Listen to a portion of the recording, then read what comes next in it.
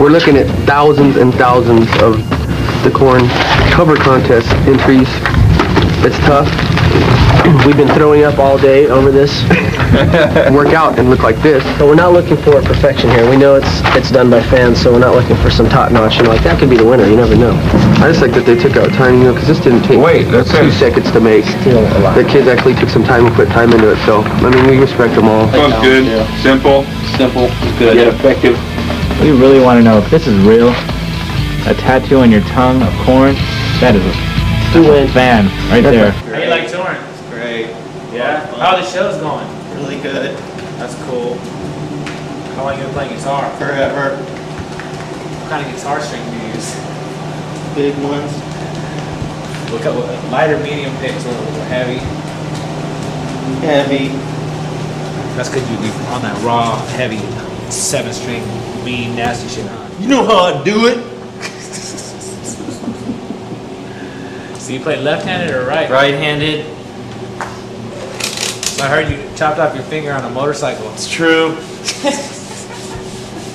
Well, this sure has been a wacky night, but me and the gang learned a lot, and we hope you did too. You all perceived us to be mean, evil people, but really we're just normal guys. And we all perceived pirate ghosts to be real when actually they were just cotton swabs. So I guess the lesson is, it's easy to perceive something some way and then be wrong. So we all need to learn to be a little less perceptive. Yeah. The gang and I wrote a song about it, and it goes a little something like this. And a one, and a two, and a...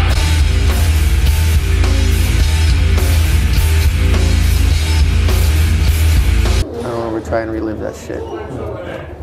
Because it was the most dark period of your life. Um, can you listen to that song or not? I don't listen to it. No, you don't listen to it. No. Um, can I ask one more question about it? Oh, yeah, yeah. Um, well, there has been some debate and was some, some sort of con- controversy about well that you would think that you wrote about your dad, but it, it was not. Nothing about my dad. I want to bring out one of my truest and oldest and most beloved old friends to come out and have some fun with us. You guys ready?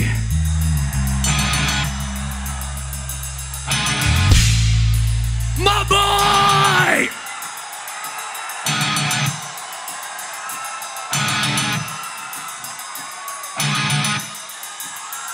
You know, meth will make you do some crazy things, but I would scoop out the white deodorant part and put Oh, okay. and put meth like in a baggie. It'll also make you crafty.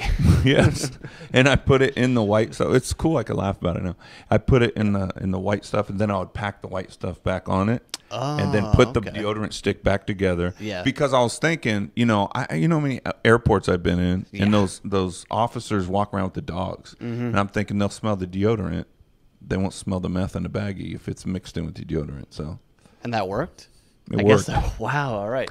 now I'm like, okay, I'm gonna pray for some of these things that I'm a slave to. It went in steps, so that I was, you know, set free with no withdrawals. You know, from the weed to the pills, you know, everything. I stopped. Over time, he became more aware of his need for God's forgiveness. I walk into the bathroom and put my face on the floor and just say, "Forgive me, man," like, because some of the things I did were so bad, you know. And I just knew He said, "I forgive you, son."